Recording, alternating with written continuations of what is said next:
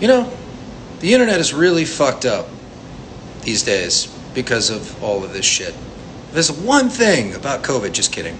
There's lots of things about COVID that are awful.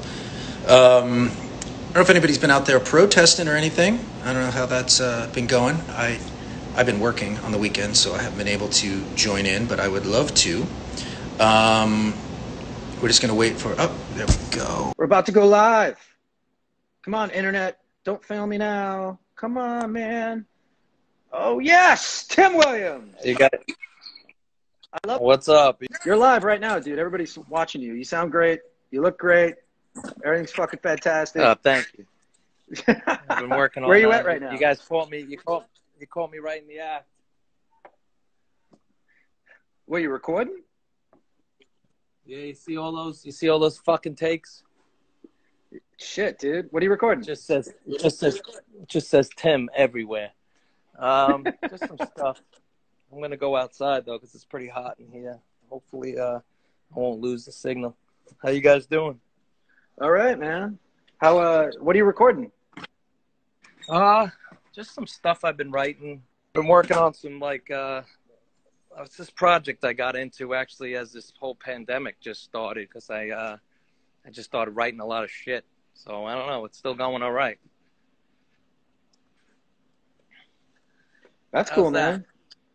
I personally had a lot of I had a lot of trouble. It's perfect, man. I had a lot of trouble being creative during this time just because like it was so stressful, you know, like Right. it, and like having the kids home and stuff like that. It's just like fucking like bananas. Ah. Yeah, it's it's it is bananas. The whole the homeschooling thing is such a fucking joke, dude. It's like ridiculous. My kids rip the house apart daily. It's, it's uh you really you really have to uh you have to exercise some major major patience. yeah, seriously. so, uh, yeah, man. Uh, fuck, I haven't seen you in a couple years. I don't think. Yeah, it's been a while, you know. Fuck. Uh, so, where are you right now? Where are you? Uh, where are you living? Uh, I live in I live in the Bronx. That's where oh, I the Bronx. live. Okay. Yeah, yeah, and uh, it's good. We like it up here. We've been here for a few years now, and uh, things are pretty good. You know, it's a little. It's hard to believe, but there's a little more space up here as opposed to uh, Brooklyn. You know, and uh, uh, we kind of just wound up here.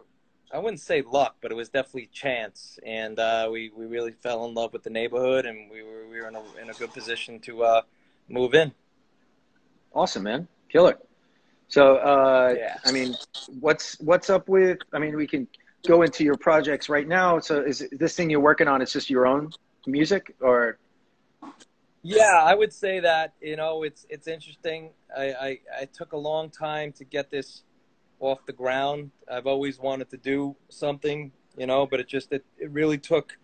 I need I needed some help developing my vision, and I, I went through a lot of different uh, bands, a lot of different projects, and, and a lot of opportunities that, for one shape, form, or another, I always wind up walking away from not necessarily the people I was with. It was just I kind of maybe I got cold feet, or maybe I just wasn't feeling it. You know, uh, at this point in my career and where I'm at, eh, I'm not. I'm not. I'm doing it for for me, and I'm doing it because I want to create my art, and uh, I still have that urge to do so. But uh, I got to be behind it, and I, I got to be excited about it. And uh, this is the this this this time, I'm pretty excited. I have one other guy, which is cool because it, it's tough to work with a lot of people, and uh, it- it's going. I, I'm. I'll just leave it that I'm excited about it, and it's. A, I think it's. I think it's going to be good. Killer, man. Yeah, you've always been incredibly particular about uh, like the people that you work with and the labels you were on and all of that stuff. It's uh, you know, and uh, do you feel that like that is a little bit from your background in the in the Long Island hardcore scene, where you know, like like a little bit of rebellious punk nature, where you're like, fuck that, I don't I don't feel it. Like I totally get the idea of like if you don't feel it, man, you shouldn't do it. It's like it's pointless you know but sometimes like you know blood simple was on a major label sometimes it becomes your job and you know it's like shit i got to do this i don't want to do this you know and, and you know it's uh it's just an, it's an interesting balance to fucking deal with so with that being said i want to i want to fucking reel it back to 1992 um Uh-huh. and uh, I, I I'm trying to remember. I saw you guys. Vision of this would be VOD, of course. Um, I think I saw you guys at the Right Track Inn multiple times, and it was the weirdest fucking scene because it was like all these kids who, you know, because we had our our version of the Long Island hardcore scene, and you guys weren't quite integrated into it yet, and and we would go. I remember all going Yeah. with Artie to these shows, and it would be like the entire fucking you know 13th grade of Nassau Community College showed up to see you guys play, and it was it was phenomenal. It was phenomenal. I mean, I think I might have even seen you at the time when you guys were still doing like Pantera covers, and it was uh, but it was always so fucking heavy and so cool. And one of my favorite memories of you uh, and VOD was when the first time Artie booked you guys at the Angle, and you were on stage, and Artie just turned to me and he goes, "This band's gonna be fucking huge. This guy is fucking awesome." You were like prowling the stage. It was fucking cool as shit, and it was like I, we just knew. And you know, then I think you you might have given us one of your demos at that point, and we reviewed it in Paranoid and all that other shit.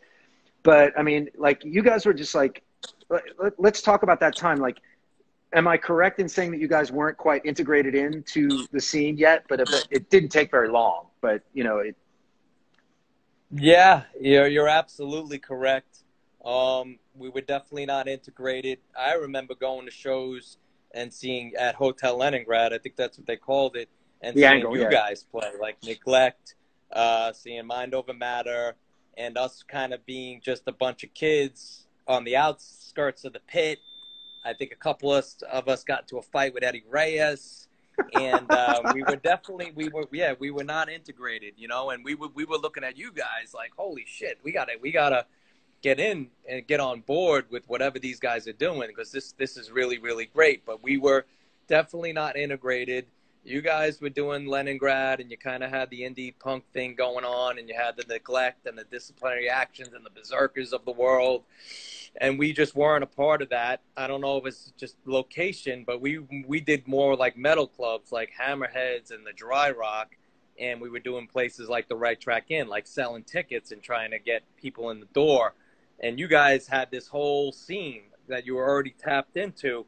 And I remember the first show, I think it was the Loyal to None guys came down to see us. It was Brian Smith and Brian Meehan came down to see us at Hammerheads, and uh, we talked then, and that's when we we came up with doing the split seven inch with Loyal to None and VOD, which was like DTO, I think, in another song, and uh, that was a big moment for us. And um, just those guys coming down, we were just like, holy shit, this is this is gonna be crazy, you know, this is great, and uh, I think they liked it. And then next thing you know, it we were playing. I remember that show we played at Leningrad with uh, when we played that and yeah, it was an it was an exciting time. And, and and no, we were not. I don't know what it was. I don't know if we were too metal, but I I just kind of feel like we just we just rushed onto the scene. We had our own little fan base, and that kind of helped out. Like you said, the 13th grade at Nassau, like all people would come, and then we'd mix them up with whatever the scene was that was already there.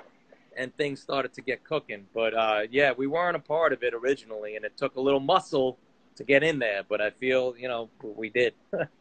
Yeah, you did. And what was interesting about it is that you brought all those other people with you who were people we never saw in the scene and and it was that was awesome because that just meant more people in our scene on Long Island who got to see other bands as well like Silent Majority and whatnot and it was it was a it was it was when it when it hit its height it was like holy shit like the fucking the PWAC show there Yeah. was like my god I think it was like Oh, 2500 was- people or something I mean, and and you you guys Tyler just like King.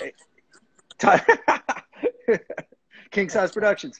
Um, Yeah, oh, is Tyler watching? No, he's not. Bummer. Um, I don't know. but yeah, man. Yeah, it's it's it's like so. It was just such a storied thing, and and and I gotta you know give credit to Artie because he really he saw it. He saw it like firsthand. I mean, I, I like it just ripped so fucking hard, and it was it's weird because you guys were like, how long had you guys been playing before you did like that those angle shows and started coming in to we were like I well. That was got- like that was probably like '93. Like we played the angle in very early '94. maybe even 93. So we were playing, you know, in 92, but we were still building. Very similar to, you know, we were still trying to find our sound. There was a lot of music going around that there was no fucking screaming on. It was more of a Doors, Metallica type thing, and uh, we were still building. But by the by the time the Hammerhead shows started coming, and we started getting into the Leningrad Right Track Inn uh, era, if you would, things started to take shape, and um, a lot of that has to do with you know the the VOD music.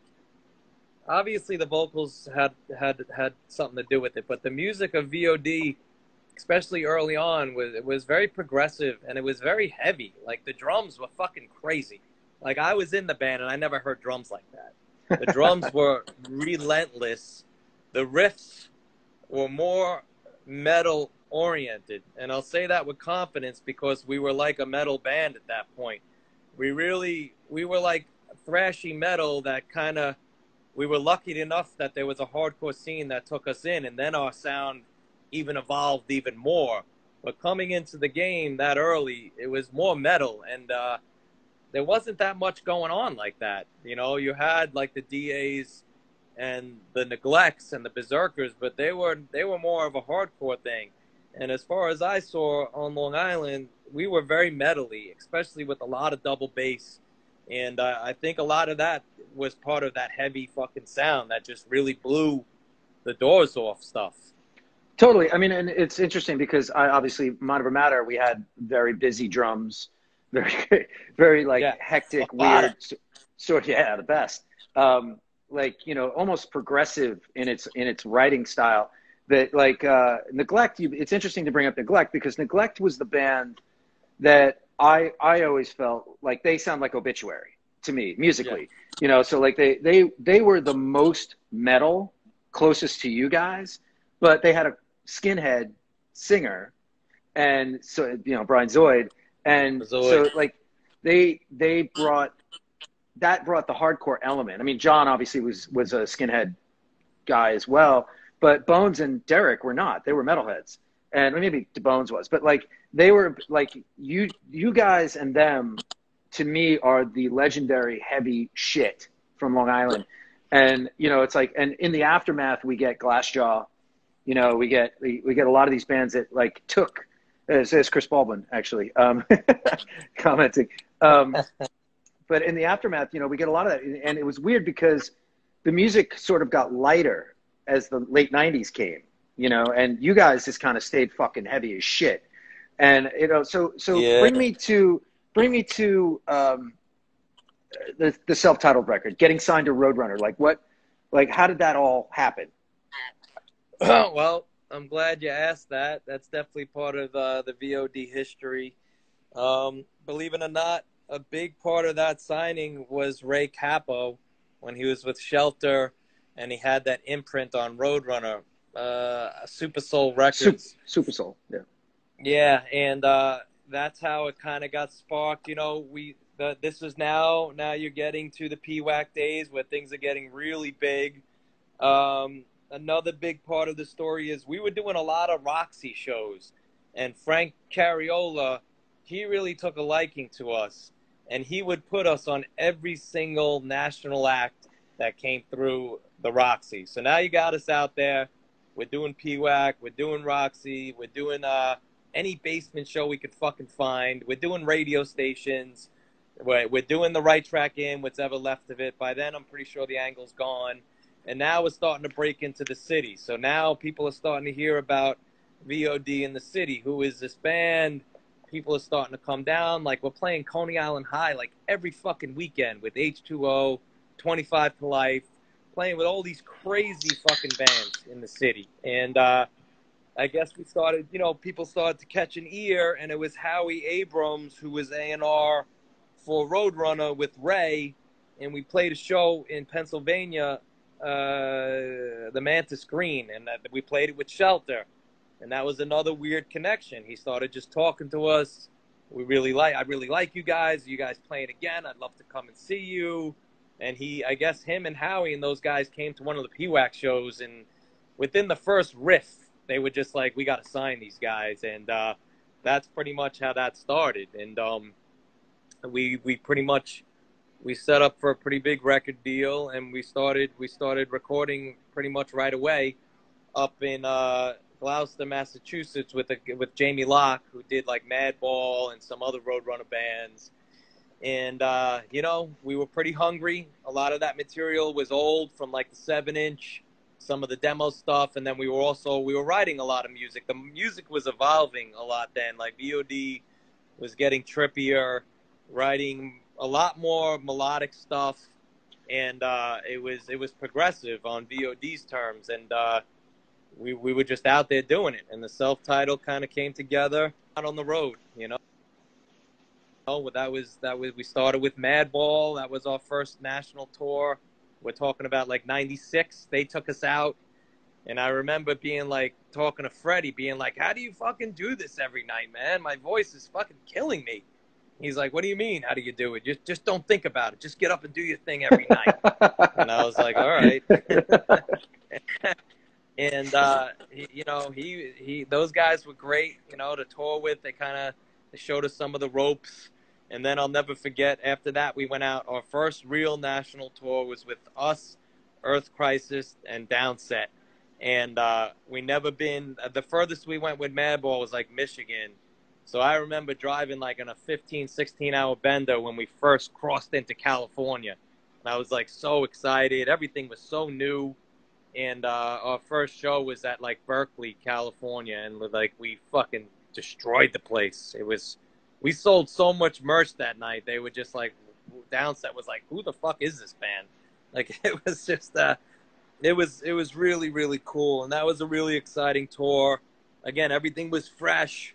We were making good money, and we were just out on our own, just fucking going berserk, and literally ripping the roof off every single night. First national tour, and then things were really exciting. We were really really big, I guess, in our own mind and I guess in re- some sort of reality. and then we were playing, we played some, yeah, right. We played, these are, you know, they, things can get shrewd out there, and uh, of course, I'll never forget again. It's all like a, it's like a series of hookups. Like it's all a lot of this stuff is all timing and where you at and uh, what what opera being presented to you, and are you prepared or are you not? And uh, we played like another crazy big show at the city in the city. I can't remember the name of the venue right now, but uh, Sick of It All came down, and they came to the show, and they came up to us right after, and they just formally offered us their European tour. Do you guys want to come out? We're going out on the road for like six weeks. Come with us to Europe, and this is all in a row, month after month after month, and then I'll kind of end with that bled right into the Ozzfest. So that's like three and a half months of straight touring all through the summer and it was it was crazy. You know, the it's the, so the funny. Ozzfest was like rock and roll summer camp. you were the first. You were the first Yeah. person to tell me about about the second singer behind the curtain for Ozzy, which Yeah, yeah, it was I know, I It was always like this really poorly I still kept secret. know who's supposed to know that. Did that, and we've we've seen him rolled. We've seen him rolled off the stage in a wheelchair.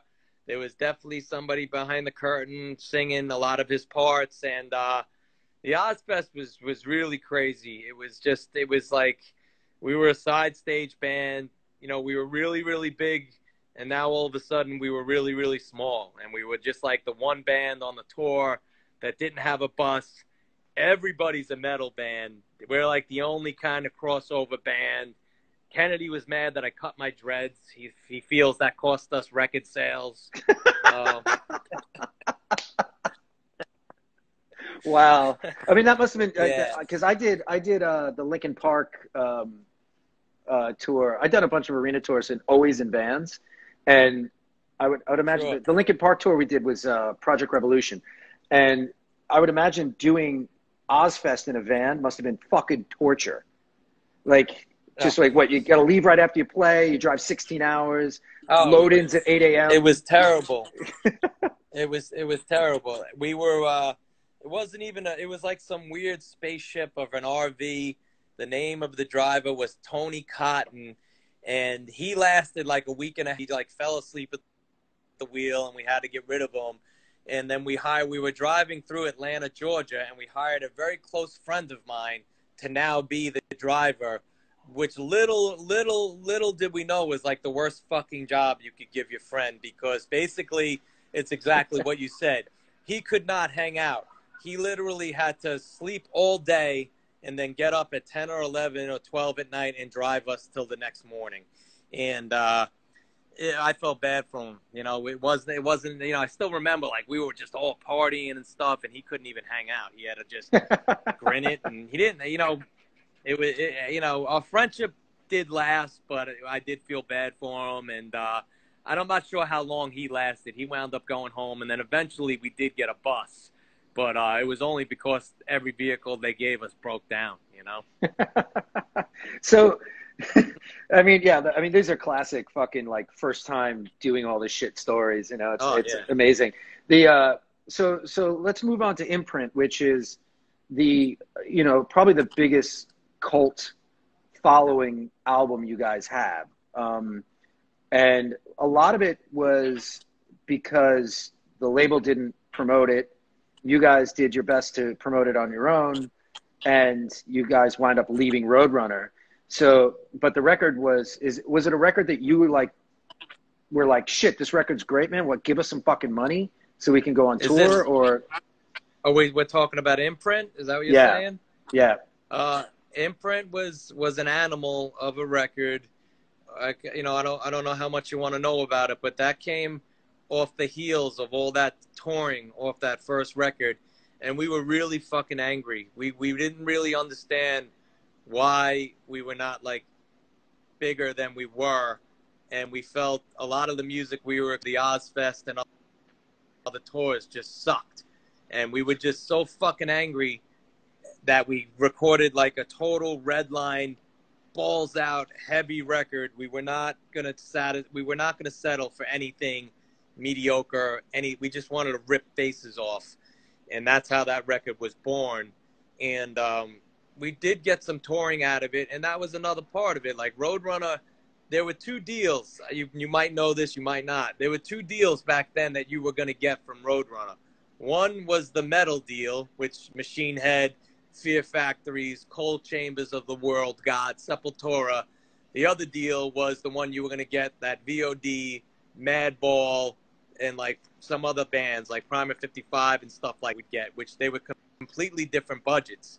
And you would get like the hardcore deal, which would, meant you were not really getting much. You they were going to take you for everything you had and not give you much in return. And uh, you didn't get much tour support and they weren't really behind you. And uh, we, I think our A and R guy left. So once that happens, you know that's bad news, you know. And uh, they always do it so nonchalantly, like, "Oh, sorry, man. You know, it's just not really working out for you guys. Will be all right. Don't worry. I got so and so watching out for you." And that's like the that's like the kiss of death, you know. And uh, we did we did some touring on Imprint, but what was the nail in the coffin? We were out in. Uh, I think we were in Australia, and we got to like we did an Australian leg, and then we went to Japan, and the rep the the A and R and the label there was just like you know the label is not really supporting you.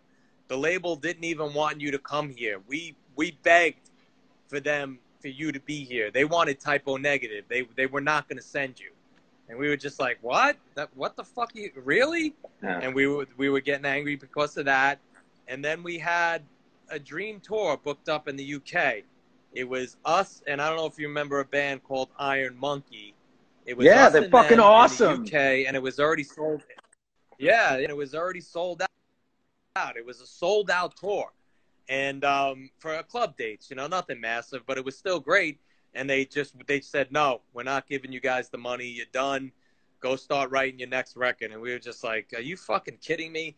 And that's when the wheels started turning, and Matt and Mike concocted some crazy harebrained scheme to start getting us off a Roadrunner. And uh, we basically handed them, yeah, we handed them like a really bad demo. By then, they owed us the third record, which was a lot of money. And uh, they were like, this is, we're going back. We're so discouraged. We're going back to just being a hardcore band and just doing local shows. This is what you're getting. Give us some money and that's it. And the guy was just like, it was Monte Conner. He's like, I don't know, something's up here. I wouldn't let these guys to go. They got something going on here, but whatever. If you want to let them go, just let them go. And they let us go, and that was it. and that's how we got out of Roadrunner. Wow.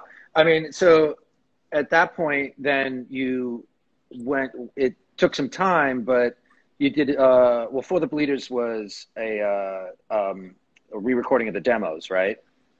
And yeah, then, and I think there's one or two extra new songs. Uh, uh, from Bliss to, to, Devastation was on TVT. Now, um, I'm sure you have the same story as everybody else who signed to TVT. but I mean, well, uh, you know, was was any of that was any of those periods that, enjoyable? Was, like, were you having were you having a good time at least? I mean, you know, you know what? Throughout all this time or now? Like, well, no, no, like no, I know you're having a good point. Uh, the TVT point, yeah. Um, you know, things were definitely starting to get more serious then. We were all getting a little older. We had been a band now for like nine, a long time, like well over almost 10 or 12 years. So some of the relationships were strained. Uh, there were definitely some creative differences, but we were optimistic. You know, labels and management were blowing sunshine up our ass, telling us we're going to be fucking enormous on this record. We had a really we had a really great producer. The material was sounding amazing, and uh, we were having fun. You know, there were you know it was a really the TVT deal was a really big deal. It was a lot of money, so that was cool. You know, we were able to once again quit all our jobs and uh, go tour the world again, and um, we did a good amount of touring on that, and and the recording it was a really good recording. Yeah, it, you know, there was some really great stuff that VOD did on those records. From a vocal standpoint, that was probably my my voice really matured, and working with Machine as a brought me to the next level. I, believe that. He really pushed me and brought me to a new level, and that's what a good producer does. Like if you heard the TVT demos from the demos to the tracks on the record, it's like holy shit, this guy really, he really got me and really, really produced me to a point where I felt I had become like a, a, a real contender uh, as a, as a, in terms of singers, you know, and uh, it was very exciting. You know, I had moved to the city by then.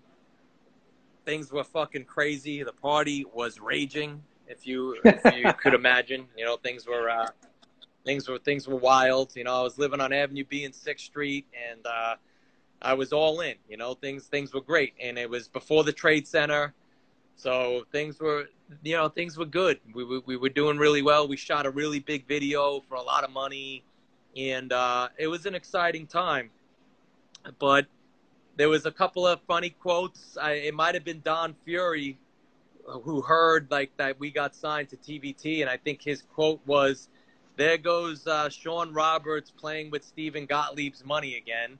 Those guys don't realize that they just jumped out of the fry out of the frying pan right into the fire.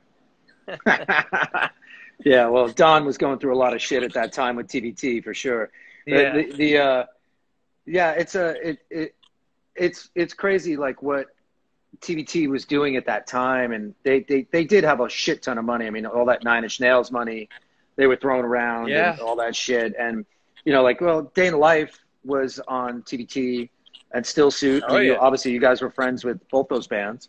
Sure. Um, sure. You know, and, and especially with George Reynolds, who, you know, I, I feel like you and George were pretty close for uh, during, yeah, during that time, particularly. Great. great. And uh, I mean, it's it's. Well, we uh, took those guys on tour. Yeah, yeah, many times, right? Well, it was us. The big tour was, I think, Still Suit was on it too. It was Still Suit and Day in a Life and VOD on. Uh, I think it was the Bliss record, and we, you know, we were out there with those. It might have been. I think it was that record. We were out there with those guys for a long time. I, you know, I get along with all those guys. George is George is great. Well, the Fleischman brothers obviously had, Oh, yeah. had Oh, a connection there. Get it, man. That's that's that's its own universe. Those guys. I mean, I love all that shit, man. It's so funny, like to, to like. ha- during that period, it made me very happy to see, you know, all the bands from Long Island that had gotten big, but also that everybody had stayed tight. And you know, like I mean, not Taking Back Sunday and brand new, but you know, other shit. Like, you know, it was just it was Yeah. cool to watch. You know, and then I- I was actually um, we can get into blood uh, blood simple now because uh, what what uh so what was the final nail in the coffin of VOD the first time? Like what what did it? I Well, mean, you don't have to talk about it if the, it's the uncomfortable. catalyst was uh you know it's not it's nothing that it's not it's a garden variety band story you know uh like i would like I, I alluded to the relationships were very strained by then we had gone into the tvt record.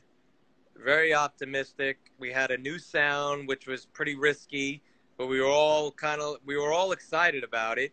And there was a lot of a lot of sunshine being blown up our asses from management labels booking and um, it all came tumbling down and it didn't go as planned.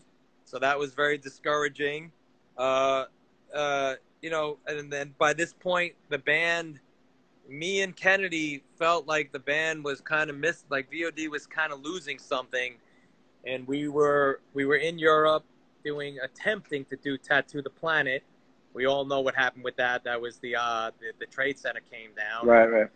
there was a lot of death, a lot of personal loss around that that definitely contributed to the VOD being done. And uh, I still remember me and Kennedy sitting in, on a double decker bus in England waiting for this fucking tour to start and talking about we need to go back home and we need to when we go home we need to start a heavy band.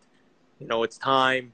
This will be more of like a heavy project. I think me and you should go together and um, you know that's pretty much what we started to, to talk about and the trade center went down we got stuck in europe for like two and a half weeks trying to do show after show after show meanwhile slayer is sitting at home in their pools waiting for a buyout like they were just waiting for more money because pantera canceled but we're sitting there just trying to survive so we canceled and came home and my dad had passed away uh, a couple of close friends lost relatives in the trade center, and it just that was it. It was we weren't going to go back out on the road, and that was he was done. And um, uh, me and Kennedy started exchanging demos within weeks, and there was a building period for Blood Simple. Me and Mike were, you know, we were we were slow to start, but then things started to catch fire, and we we got uh, a guitar player that really got our vision and helped elevate the the music. And that was that puts us at around 2001 and i would say it took about three or four years to about like i won't go through all the downtime but it took about till 2005 for blood simple to develop to a point where we had gotten signed and uh, that came out of another connection uh, through chad from mudvayne they started we started doing demos and they caught wind of it and he wanted to sign us and that happened very quickly. It was like we had barely any management.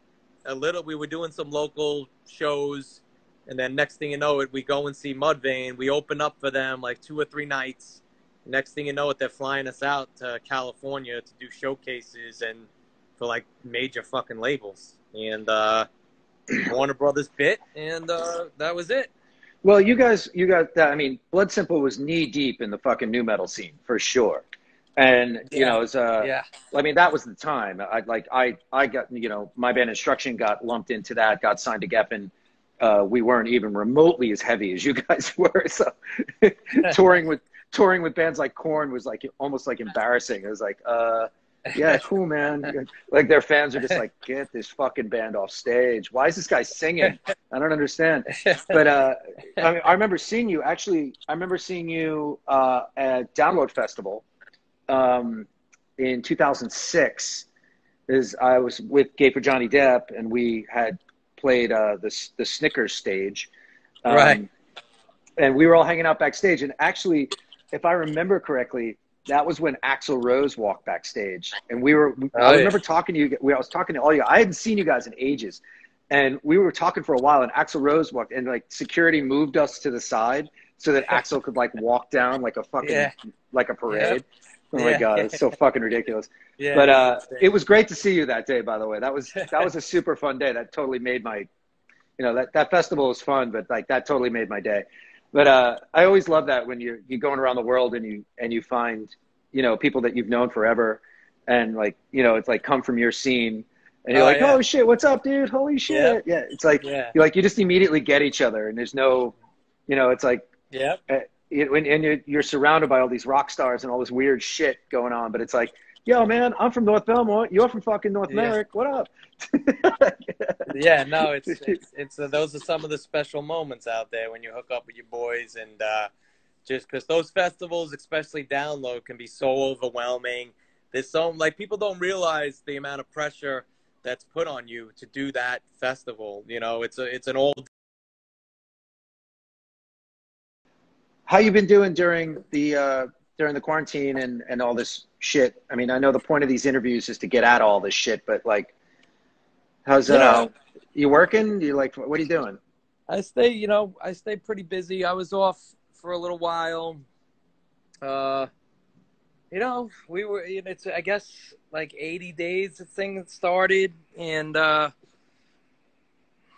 I was working for a while, but then we went into like weird shift mode and we were off and then we were on, we were off, then we were on. So I was home a lot, like we were saying earlier, with uh, everybody, you know, the family and stuff.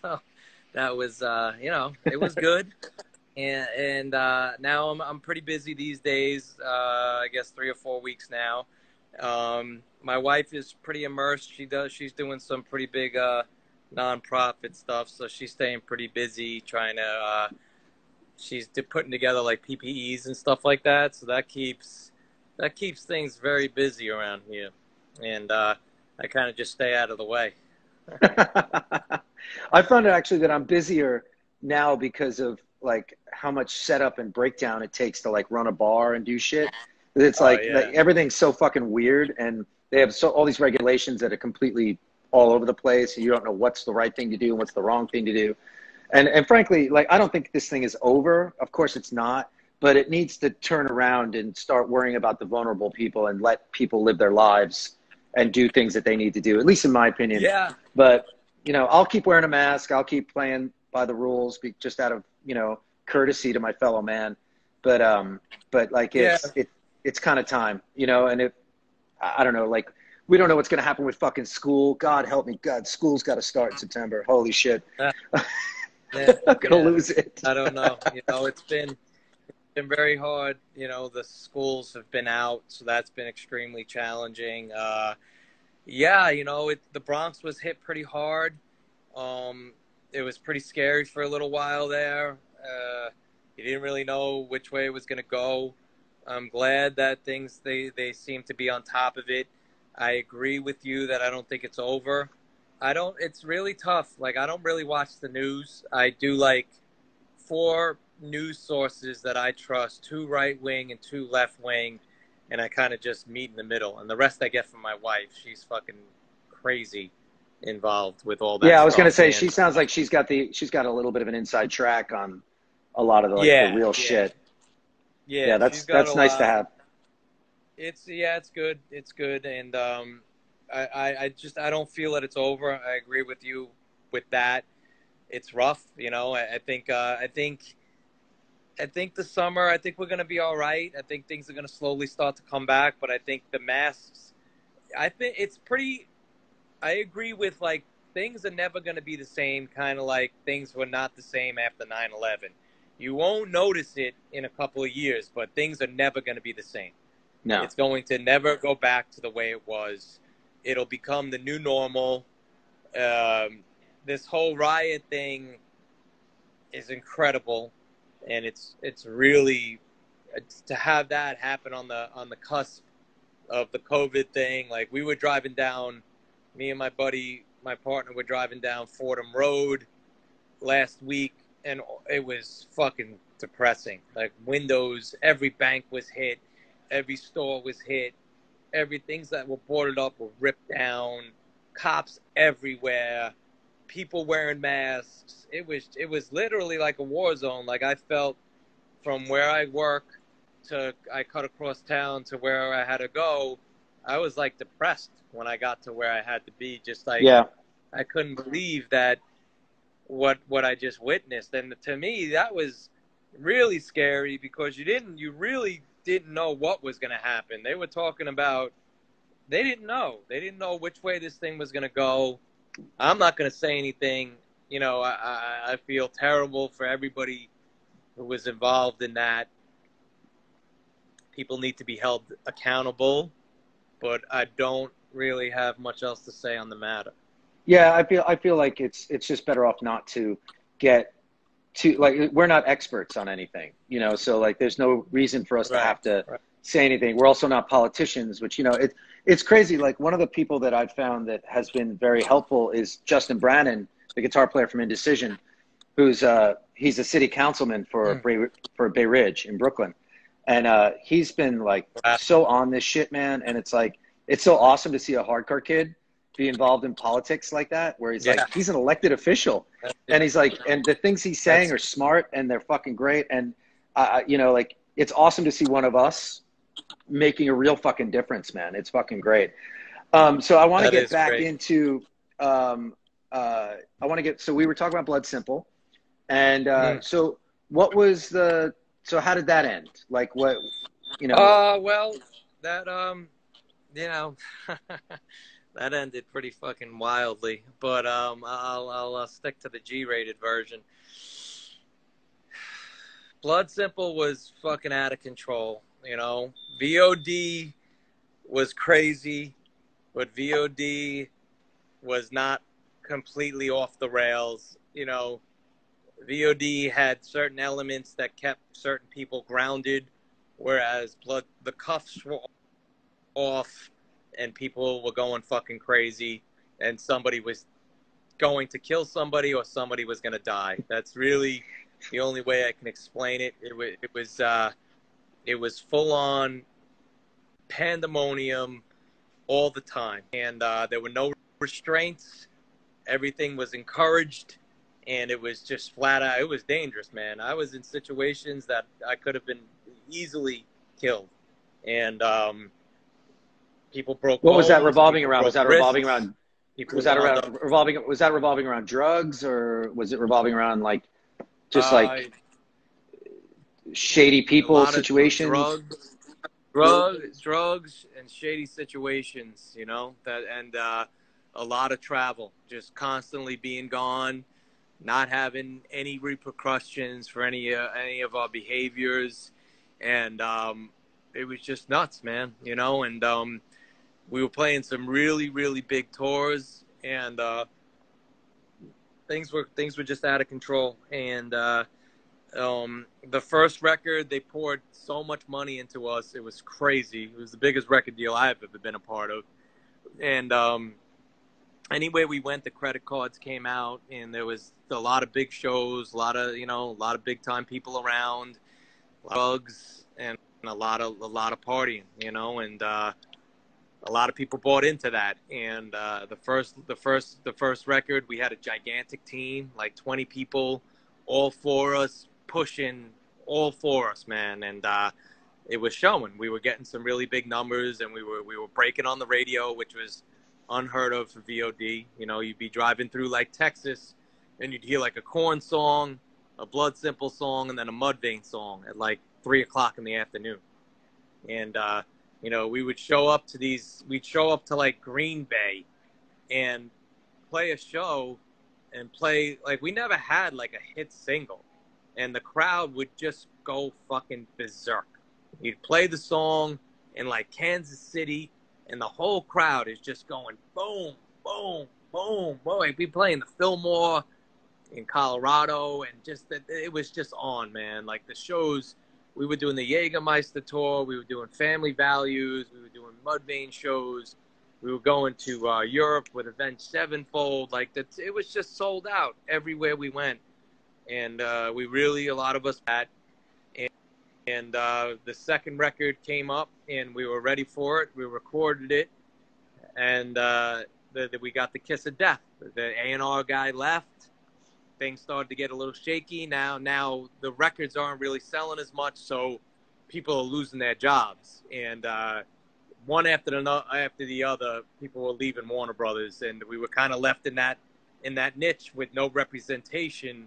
And you know what happens when that happens. So we we pretty much did. Uh, we did some Mudvayne. We did some Hell Yeah tours, which were very very good. We were doing really well, and um, we did Family Values, and that, and then we went to Australia, and then that was it. We came home. It, once again, I don't know what it is with these bands, but the country now was heading into a major recession, and uh, they were just like, bands just aren't going anywhere. You guys are gonna go home, and we'll see what happens. And uh, it was now we're all in our mid thirties. You couldn't really be without you. We were living in New York City. We had to we had to get going. You had to stay busy. One Right. thing led to another. Everybody got caught up in their personal lives and their careers, and uh, Blood Simple pretty much just disintegrated. So, so, but VOD, how quickly was it that VOD reformed after that? It's like once again, it's like no time at all. Like I don't know if it's me. I just you know I got to keep busy with my music stuff, but it was just the, the time was right. There was a lot of talk. Blood Simple was doing that thing, but slowly VOD like the VOD started to be introduced again. Like uh, uh, we did like the Super Bowl. Like we were asked, we got an offer we couldn't refuse to do the Super Bowl of hardcore.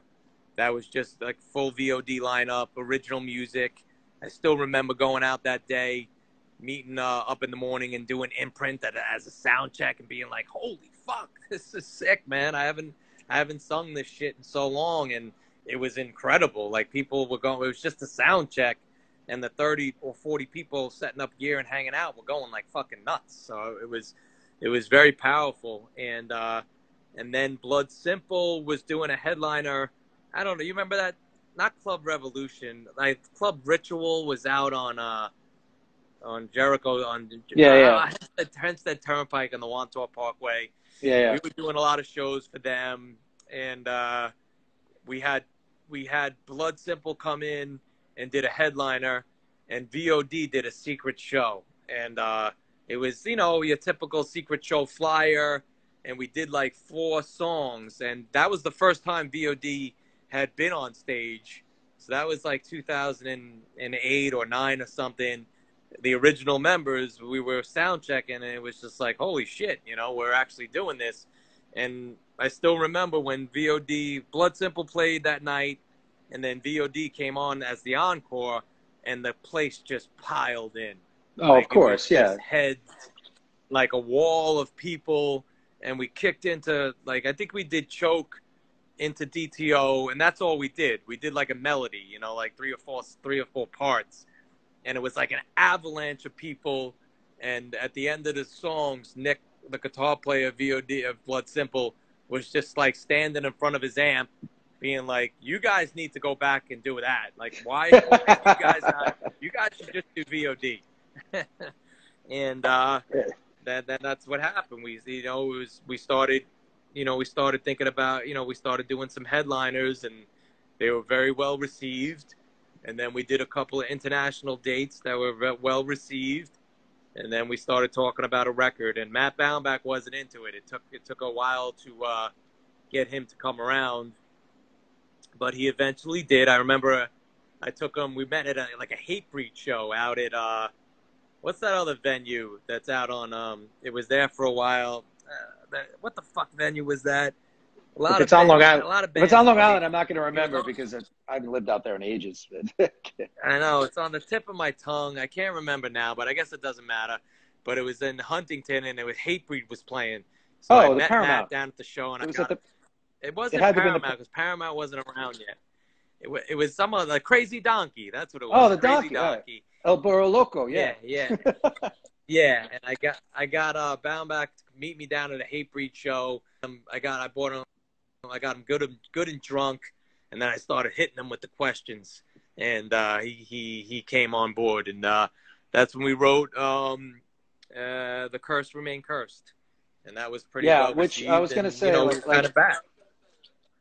Those two records, the two records you've made since you were back together, are just really, I mean, fucking incredible. Like it just, Thanks. like it just ripped. It was like, it was like like a, a uber mature version of what you guys did and like the lyrics the the performances everything was so fucking good like i i mean I, i'm not going to tell you, i'm not going to say that i like doubted that it would be good but like I didn't think it would be that fucking good. That's like I was like, shit, especially fucking uh, race, uh, race to the ground, dude. Like I put that shit on, I was like, what the fuck? And like you know, Wow. like it just you. was like, you know, and it brought back a lot of memories. You know, it's like like you guys are, you guys are fucking legends. You know, it, uh, of course, like you guys went on to do a lot bigger things, but our little world was such a you know, it, it, as much as it branched out and a lot of bands got big, it was really like a special time. And it was like, you know, for, for, for us, it was like, you know, it was like playing in the minor leagues and, you know, and you're working, Yeah. You know, you're, you're getting your shit together. And then all of a sudden, you know, and like all these people came out to support it.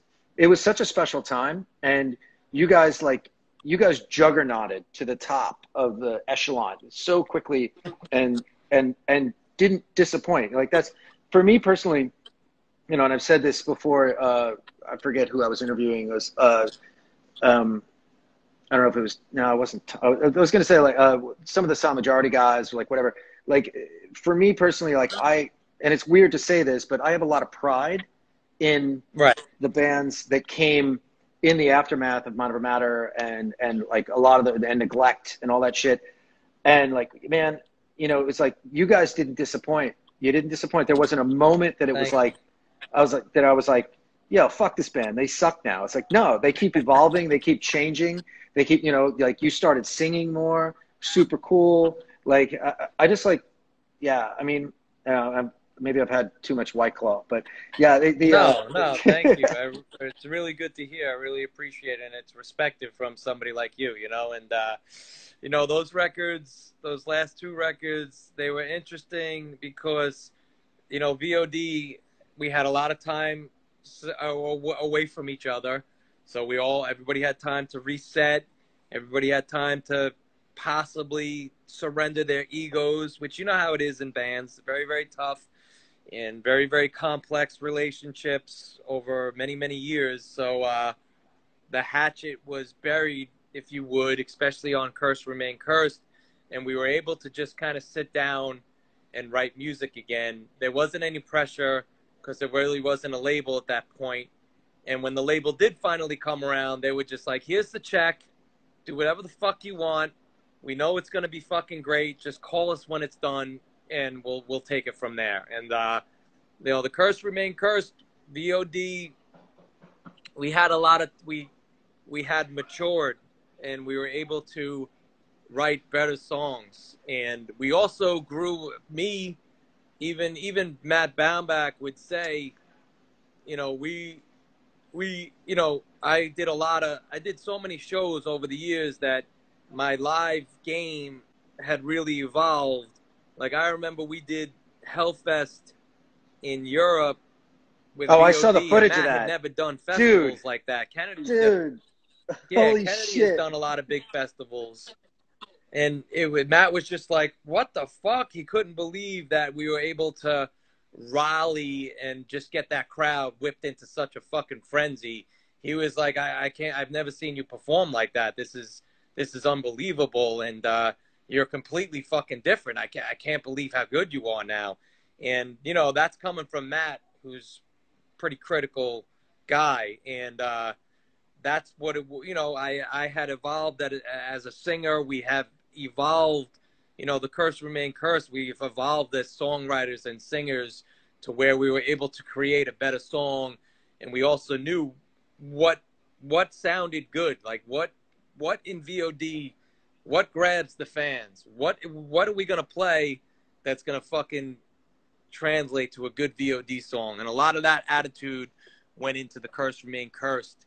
And then, you know, unfortunately, when we got to uh, Razed to the Ground, we actually did that as a four piece, which I, I was I Right, I was going to say Josh wasn't Kennedy Josh wasn't in the he was Josh wasn't in the in the in the in the fold yet, right? Like No, no, was- Deco, Deco wasn't in. Deco, Deco was was Deco's great is great, but he wasn't. He did not play on the record, and uh, and I don't. He didn't write it. He just wasn't really there for the writing of the record, so he didn't play on it. But I also was very adamant that I really wanted Mike Kennedy to play by himself. I, it was time. I knew he could handle it. He was writing some really good stuff, and I really just I didn't want somebody else to come in and, and fuck it up. I wanted Mike to, for lack of better term, it was Mike's time to shine. Yeah, And, dude. uh, that and that guy. I really, really, you know, like it, really- it, it's crazy, like watching him play. Like, he, I mean, he's a different person too from you know when you guys were in Blood Simple, you know, and it, you know he stopped Right. drinking and and doing whatever, and like you know, like kind of became like an entrepreneur, and you know, like it, just a like a really like I fucking love hanging out with Mike. It's just so interesting how different he was from that time, you know, and and and yeah. that that was probably a fucking killer thing to, for you to push because he's a great guitar player and he writes sick riffs. It's like fuck it, man. Yeah. You know, like I, yeah, I was he, and he was he was writing some he was writing some really really great riffs and uh, it was just his time you know matt was matt stepped down and was just i'm like i'm not getting another fucking guitar player. You could do this. And he knew he could do it. And it, i think and that was it. And uh, we were able to pull that record off. Again we we suffered some label setbacks but it got out and we were very very happy with it. And uh, you know, I don't know what's going on now, but you know, there's always chatter. You know, Yeah. my booking agent, you know, my book, my booking agent, who I'm still pretty close with, he's always calling me, being like, he books a lot of bands, and he's just like, "You're the most fucking requested band on my roster. You guys gotta fucking play." And I don't know if he's just trying to, you know, because if we play, he gets paid. I don't know if he's just trying to, you know, sell me or whatever. But he's that's a, he says that every time, and I'm just like, well, you got you guys you guys in Gla- you guys in Glacier are like are, are you guys in Glacier are like super elusive. So you know it's a Right. it's it's sort of like a fucking unicorn when you actually play, and it's it's but that's cool, man. It, it, it keeps it fresh. I mean, obviously, this whole current situation is throwing a wrench in the works for anybody doing anything, but you know it's uh yeah. it, it, I mean, I, I hope to see you back on stage again soon. And uh, I'm gonna wrap it up. And I, I want to Yeah. thank you so much, Tim. It was great to fucking talk to you, dude. It's always great to see you. Yeah. Um, you know, like uh, it's uh, we go way back, and it's it's crazy, like Yeah, to, way to, to think think of all the fucking crazy shit we all went through together. And and and again, like I said, I was always like like fuck yeah, VOD, fucking keep going, keep fucking killing it because you deserved everything you got, and you know you worked hard for it, and it fucking kicked ass. So, um, you know, No, thank you. thank, thank you so much. You know, we right, always we always were a big supporter, big supporter of you and everything you've done with the bar, and you know, even back in the matchless days when I used to come down and you would feed me fucking shots. You know, I was always I was always happy to see you, and I was always happy to watch you evolve and grow and through everything, and especially you know, big props to Saint Vitus and all your guys' success. I love. I love telling people that you know that's that's my fucking friend's bar when we're driving down Manhattan Avenue. I'm like, do you have any idea what fucking bands play in that fucking bar? You would never even fucking know. And uh, it's always it's always been great to know you, and I really appreciate this opportunity. I'm glad it worked out, and I'm glad we were able to pull off the mighty Instagram live. it's awesome, man. All right, kudos to you and your family. Have a good night. Get some sleep, Yeah. and uh, I'll hopefully see Yeah. you soon, buddy. you got it, bro. Take care. Later. Yeah.